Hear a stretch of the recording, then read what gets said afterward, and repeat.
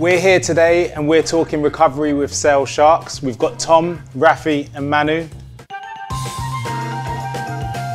Do you find that it does like impact your performance, your training when you've got a lower immune system or you're feeling a little bit run down? Yeah, fitness wise, you just feel like even the littlest thing, you're just blowing more than normal. I think, yeah, definitely it affects you physically. For me, I just take um, turmeric, Red Bull, energy gel, and beta alanine, just trying to wake myself up before going into that session. Stay away from Manu. Stay away from Manu. That's the last thing it is anyway. Everyone's experienced injuries here. I've obviously experienced like some major ones, particularly growing up. And dealing with that adversity is the biggest thing always, particularly in any performance sport, let alone like day-to-day life. But how do you guys, like how do you deal with it mentally when you've uh, experienced injury? I've always seen it as kind of like something to enjoy. Uh, obviously, you can't change it, so you might as well try and enjoy it and, and trying to become obsessed by it. You know, when I did my wrists, I got I could do my legs, so I just got massively into my legs. When I did my hamstring, uh, I just smashed upper bodies. And I think that's really good because it kind of really narrows your focus down because rather than thinking about, you know, if this, this, just you become obsessed by one thing and that's kind of your day to day. Now also you can have a look at the game from the different side. Not being on the field, you can just have a look and me I analyse it and try and see where I can fit in or I can be better. Um, so when you come back, you go straight in, you're not having to start again. Strength, speed and power are makings of a rugby player. How does nutrition aid this for you?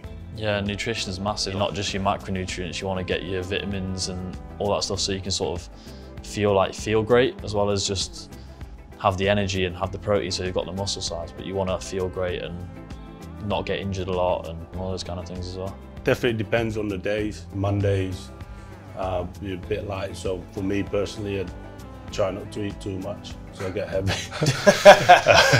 um, but then pretty much you have the day before the game to get carbo load again, so it's important. I mean, for your mental side as well, you know that you eat the right food and you get the right energy, again, you feel better.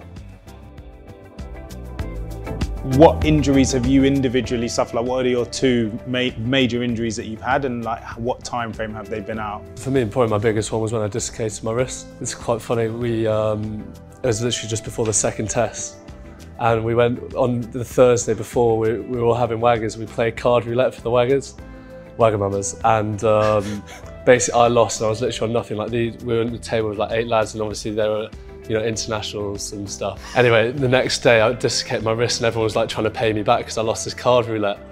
Um, but for me, for that four, four months, um, that, that, that was probably my, my toughest period.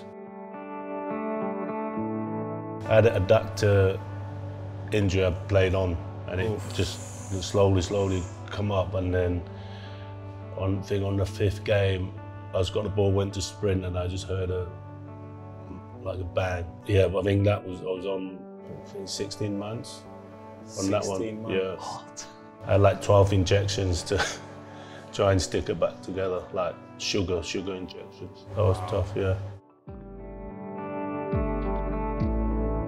The hardest thing about being injured, what would you say is, if a couple of words, like what's the hardest thing? You just miss when you like go out and watch the boys train, you just want you just miss being out there. It's a lonely. it's lonely because all you do is like look outside from the gym, because oh. you want to be out there, but yeah, you do find yourself in the gym a lot.